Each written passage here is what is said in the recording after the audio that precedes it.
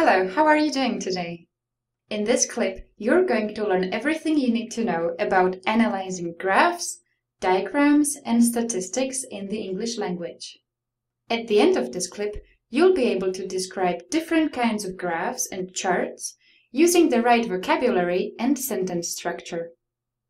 I'm only going to use English today, so you may want to have a dictionary near you in case you need to look up some words. I'll give you a tip.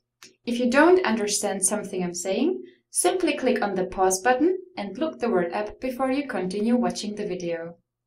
Let's start.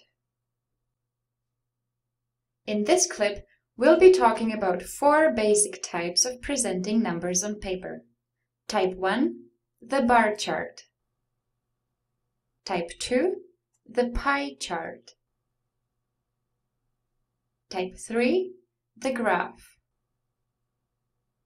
And type 4, the table. We'll go through each one in detail so you'll get to know all the vocabulary you need. We'll start with the bar chart. This visual aid is used to compare unlike or different items. Typically, you have a number of items, for example, fruits, and you have also two or more time references, for example, two different months or years.